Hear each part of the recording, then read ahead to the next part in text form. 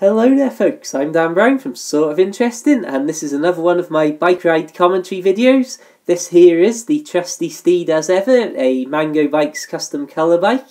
Um, normally I ride it on the fixed wheel side but at the minute I've got it on the free wheel side as my commute has now become about 9 miles so I don't particularly want to ride 18 miles and do an 8 hour shift on work days. So we take a look at the marina here and hop out onto the jetty.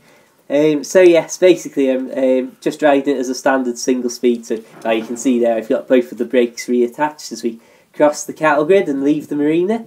Um, as you can see there's just this beautiful bit of countryside here. Now I could take a different route which would see me ride about two miles down the canal. Um, same sort of nine mile distance overall but the canal route you go through two tunnels and over the aqueduct and that is itself a fantastic route. Uh, but I thought well, sometimes when you've got scenery like this around you, for well, I suppose Kronospan there is the perfect demonstration of how nice the rest of it is. The Chirk Castle gates there, but when you've got nice scenery like this on the road, it's nice to have a change. And well, later on in the year, I'll certainly be doing an awful lot of biking to and from work down the canal. So I'll make sure I post a video of that as we have a nice little bit of downhill here.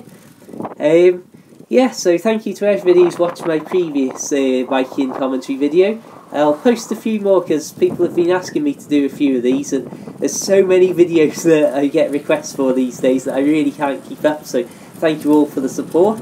Um, yeah, the Mango, I've had it now for, must be like since March when my previous bike was stolen off the back of the boat.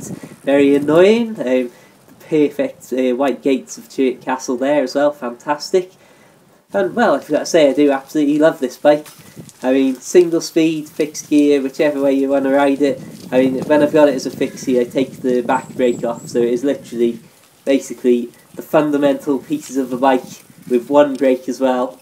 So you've got the very minimum of stuff to go wrong. A little bit of off-roading here. Sorry about this awful filming, but I was going down some of those, you know, the long sort of staircases that are on woodland paths somehow to stop it being such a steep um, straight bank. So we pass through Weston Rhyn here and well get back onto some nice country roads to head into Oswestry. And well, really, it's got to be said, I do absolutely love the bike. I mean, if you've seen my other videos, I've been posting videos of me biking for years now. Travel a good few thousand miles in a year, and obviously having the boat now, I'm biking into uh, town for work from all sorts of different places. As we just have a quick look there of one of my favourite views. I tell you what, a misty morning, you've got the hills poking out as if it's islands in the sea. So we've passed the hill fort here, then Gatacre playing field.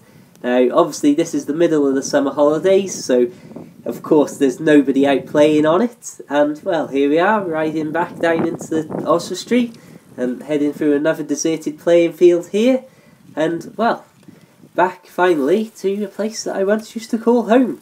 So, thank you very much for watching as we pull up onto the path here.